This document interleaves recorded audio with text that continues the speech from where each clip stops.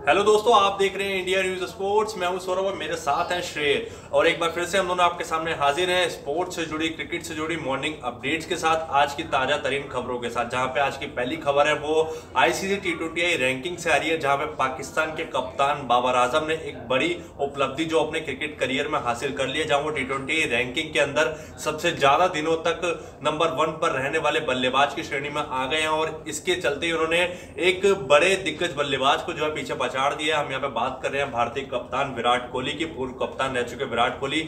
जो इससे पहले 1013 दिनों तक जो है नंबर वन के स्पोर्ट पर जो है काबिज थे, लेकिन अब बाबर आज़म ने ये उपलब्धि 1014 दिन के हिसाब के चलते जो हासिल कर लिया और अब वो नंबर वन पे अभी भी बने हुए एक हज़ार चौदह दिनों से Babar Azam ICC T twenty ranking में नंबर वन पर है। ऐसे में बाबर आज़म को श्री आप किस तरीके से देखते हैं कि वो इतने हमने पिछले कुछ सालों में देखा कि लगातार वो अच्छी बल्लेबाजी कर रहे हैं अगर हम उनका इंडिविजुअल देखें ना केवल वो अपने सिर्फ़ अकेले के लिए अच्छी बल्लेबाजी कर रहे हैं बल्कि उन्होंने पाकिस्तान टीम का भी जो स्तर है लेवल जो है काफ़ी ऊपर लेकर गए अपनी बल्लेबाजी से। बिल्कुल यहाँ पर जिस तरह से बाबर आज़म ने बल्लेबाजी की और बाबर आज़म के साथ साथ एक खिलाड़ी और है मोहम्मद रिजवान। बिल्कुल। ये दोनों जिस तरह से पाकिस्तान की टीम को लेकर चला रहे हैं क्योंकि एक वक्त था जहाँ पर दिख रहा था कि पाकिस्तान की टीम नीचे जा रही है खासकर टी के फॉर्मेट में बात करें लेकिन अभी इन दोनों खिलाड़ियों के बदौलत और जिस तरह से बाबर आज़म की कप्तानी निकल कर आई है, वहाँ पर अगर देखें तो बहुत बेहतरीन कर रही है पाकिस्तान की टीम। और यही वजह भी है कि पाकिस्तान ने जो पिछला टी ट्वेंटी वर्ल्ड कप था वहाँ पे काफ़ी अच्छा किया था। और यहाँ पर अगर बात कर ले तो पहले नंबर पर टी ट्वेंटी की रैंकिंग में बाबर आज़म है तो दूसरे नंबर पर मोहम्मद रिजवान बने हुए हैं। तो अगर टीम अच्छा कर रही है तो उसके पीछे का साफ़ साफ़ कारण है कि खिलाड़ी भी अच्छा कर रहे हैं। और यही वजह है कि यहाँ पर बाबर आज़म ने विराट कोहली को पीछे छोड़ते हुए सबसे ज़्यादा दिनों तक टी ट्वेंटी अंतरराष्ट्रीय में एक नंबर एक की पोजीशन पर बने रहने का रिकॉर्ड बनाया है। अब देखना यही है कि आने वाले वक्त में बाबर आज़म कब तक यहाँ पर बने रहते हैं और अगला वो कौन सा खिलाड़ी होता है। जो उन्हें चुनौती देगा। क्योंकि भारतीय टीम की अगर यहाँ पर बात करें तो महज ईशान किशन है, जो टॉप टेन की पोजीशन में बने हुए नंबर छह पर है यहाँ पर टी ट्वेंटी अंतरराष्ट्रीय रैंकिंग में। और वहीं विराट कोहली की अगर बात करें तो वो इक्कीसवें स्थान पर खिसक गए हैं जाकर। तो कहीं ना कहीं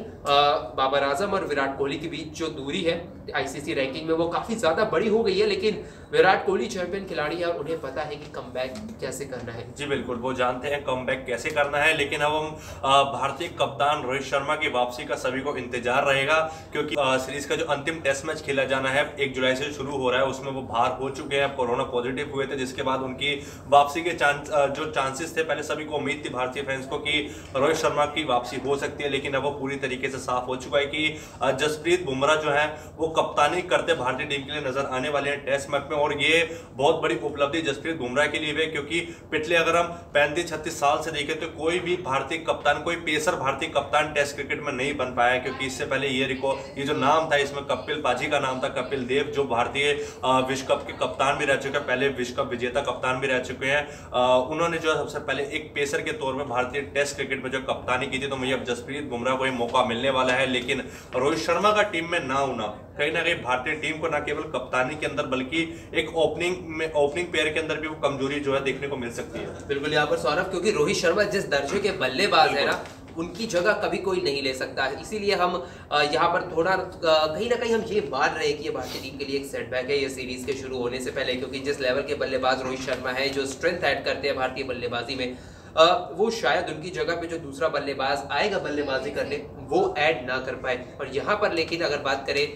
जसप्रीत बुमराह की तो उनके लिए एक बड़ी उपलब्धि है कि वो पैंतीस साल के बाद यहाँ पर कप्तानी करने जा रहे हैं। जी, बिल्कुल, उनके लिए बहुत बड़ी उपलब्धि और साथ साथ एक बड़ी उपलब्धि जो है, हार्दिक पांड्या ने जो अपनी कप्तानी में हासिल कर ली जो हमारी तीसरी खबर है, वो हार्दिक पांड्या से ही लेकर के जहाँ पर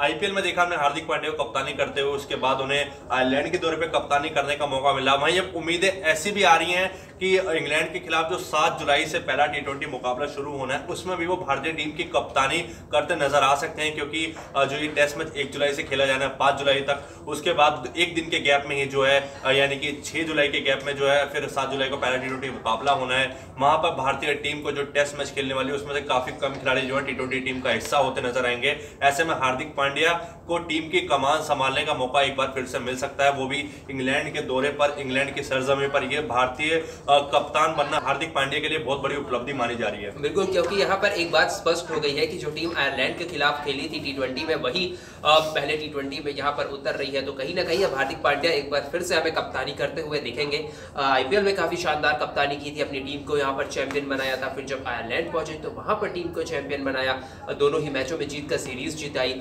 लेकिन यहाँ अब एक और जो अंतरराष्ट्रीय स्तर पर जो असली टेस्ट होना था हार्दिक पांड्या का, मुझे लगता है अब वो होने वाला है, क्योंकि जब वो इंग्लैंड के खिलाफ उतरेंगे, इंग्लैंड की सरजमी पर तो वहाँ पर देखना होगा कि अपनी टीम को किस तरह से लेकर आगे बढ़ते हैं और किस तरह से अपनी टीम को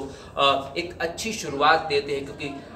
टेस्ट के बाद एक ही दिन का गैप मिल रहा है, इसी वजह से हार्दिक पांड्या की टीम यहाँ पर आ रही है, इंग्लैंड के दौरे पर ही। लेकिन एक बात यहाँ पर निकल कर ये है कि सबसे ज़रूरी जो बात है शुरुआत जो देनी है ना टी ट्वेंटी सीरीज़ में, वो हार्दिक पांड्या देंगे। अगर हार्दिक पांड्या यहाँ जीत के साथ शुरुआत कर पाते हैं तो जो मेन टीम जब दूसरे और तीसरे मैच में वहाँ पर उतरेगी टेस्ट मैच को खत्म करने के बाद तो उनके पास एक अपर हैंड होगा इस सीरीज़ में। जी बिल्कुल, उनके पास एक अपर हैंड होगा। ऐसे में देखने वाली बात होगी कि आयरलैंड के खिलाफ जो टीम ने प्रदर्शन किया था हालाँकि गेंदबाजी उतनी कुछ खास नहीं रही थी दूसरे मुकाबले में, देखे तो इतना बड़ा लक्ष्य बनाने के बावजूद भारतीय टीम केवल चार रन से ही जीत पाई थी, लेकिन बल्लेबाजी काफ़ी स्ट्रॉन्ग देखने को मिली थी। उम्मीद यही करते हैं कि पहले मुकाबले में भी जो सात जुलाई को खेला जाना है, उसमें भारतीय टीम इसी दर्जे की बल्लेबाजी करे, इसी तरीके से प्रदर्शन देखने को मिले। लेकिन एक जो गेंदबाज है भारतीय टीम का, जिसका प्रदर्शन अपने टी ट्वेंटी अंतरराष्ट्रीय मुकाबले, हम गए दोनों ही मुकाबले में, उस तरीके की छाप छोड़ने में वो कामयाब नहीं रह पाए, जिसके लिए उमरान मलिक की हम बात करें, जो उन्होंने आईपीएल में दिखाया था प्रदर्शन, जहाँ उन्होंने लगातार देखे तो विकेट चटकाई थी, लेकिन उन्होंने दो मुकाबले आयरलैंड के खिलाफ अपना डेब्यू किया अंतरराष्ट्रीय, उसमें उन्होंने वो छाप छोड़ने में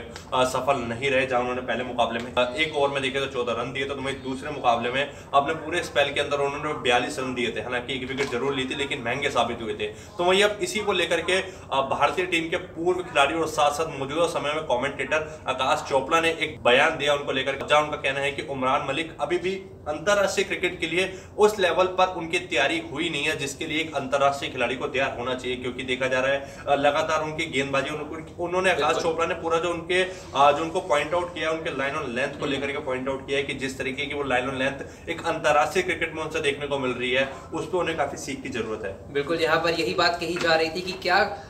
उमरान मलिक के साथ जल्दबाजी की जा रही है भारतीय खेमे की तरफ़ से। लेकिन कहीं ना कहीं मुझे लगता है अब देखिए आकाश चोपड़ा ने हमसे ज़्यादा क्रिकेट देखा हमसे ज़्यादा क्रिकेट खेला है वो जो कुछ भी बोल रहे हैं वो अपनी जगह है। लेकिन कहीं ना कहीं भारतीय टीम के जो सेलेक्टर्स थे वो चाहते थे कि